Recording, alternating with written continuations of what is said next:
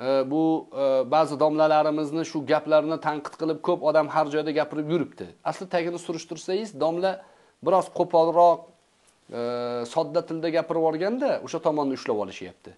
Qur'on o'qisak gado bo'lamiz degan jumlani. O'sha jumlani ushlab olishyapti. Asli u domlani nima demoqchi bo'lganligi ma'lum. O'sha o'sha gapni o'zida ham aytyapti. Man bu deganim qur'on o'qima deganim emas deyapti. Ilm o'qishimiz kerak. Bugun eng dolzarb masalalarni butun maydonni to'ldirishimiz kerak deyapti. O'shani ol o'sha o'sha muhim gap shu. Narigi gapiga urg'u berib asl muhim gapni tashlab yuborishlik aql e, doirasi bor odamni ishi emas. Aql doirasida inson aqlini to'g'ri ishlatsa aytilgan gapdan to'g'ri ibrat oladi. Narigi gap biroz mubolag'a. Qur'on o'qisak misol uchun gado bo'lamiz degan gap biroz mubolag'a. Nima demoqchi o'zi? O'zidan so'rasangiz yo qur'on o'qima demoqchi emas nima demoqchi? Nima demoqchi? Biz faqat qur'on o'qib o'tiravermasligimiz kerak. Mana bu fanlarni kim o'rganadi? Tibbiyotni kim o'rganadi demoqchi? Mana aytamanki ha tibbiyotni o'rgangan odamga ham qur'on zarar qilmaydi. Qur'on qur'onga alohida vaqt ajratib qo'ying kuniga bir soat o'zingiz uchun vaqt ajratib qo'ying. Boshqa ilmlarni ham o'rganing. Boshqa ilmlar muhim. Qur'on o'qishlik naqadar farz bo'lsa tibbiyotni o'rganish millat uchun shu qadar farz. Qur'on e, hadis o'rganishlik naqadar lozim bo'lsa e, e,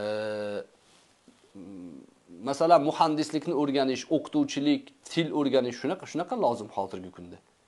Millatni hamma sohasini jabhasini to'g'irlash kerak.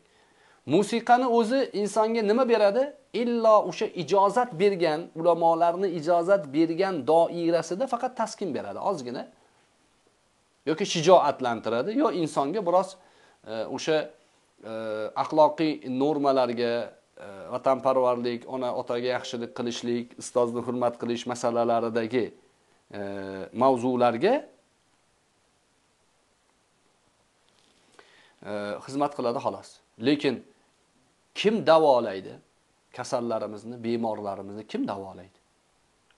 Kim bizni iqtisodimizni ko'taradi? Kim bizda e, yetuk kadrlar yetishtiradi?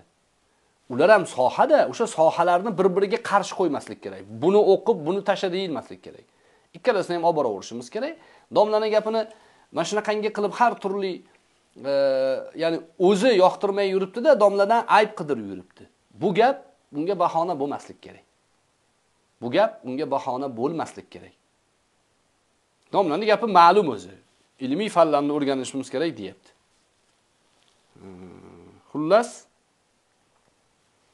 e, ota onadan o'tadigan tabiat insonni jibillasiga aloqador fitratiga aloqador tabiat o'tadi. Lekin uni e, amallari o'tmaydi. Agar amallar o'tganda edi fizikni bolasi fizik bo'lib tug'ilardi. Amallar o'tganda edi qorini bolasi qori bo'lib tug'ilardi. Unaqa bo'lmaydi. Muhit shunaqa bo'lganligi uchun fizikni bolasi fizika muhitida tug'ilgani uchun fizikani o'qiydi. Lekin aksariyati nima bo'ladi? Yangitdan o'qiydi yangitdan e, ta'lim oladi. Qori e, o'g'lini qori qilishlik uchun o'sha muhit shakllantirgan xolos. Lekin o'qimasa qori bo'lmaydi. Juda ko'p qorilarni farzandi qori emas. Juda ko'p oddiy odamlarni farzandi qori. Bular amallar. Amallarga har bir odam o'zi mas'ul. Man uchun yuklatilgan vazifaga otam javob bermaydi. Payg'ambar alayhissalotu vassalom ey fotima dedilar qizlariga. Qiyomat kunida payg'ambarni qiziman deb qutulib ketolmaysan dedilar. O'zing uchun o'zing javob berasan dedilar. O'zing uchun harakat qil dedilar. Payg'ambarni qiziga. Payg'ambardan payg'ambarni qiziga payg'ambarlik o'tmaydi. Nima o'tadi? O'sha payg'ambar alayhissalotu vassalomning suratlari ya'ni tabiatlari o'tadi. Tabiatlar o'tadi lekin amallarga har kim o'zi javob beradi. Tushunarlimi?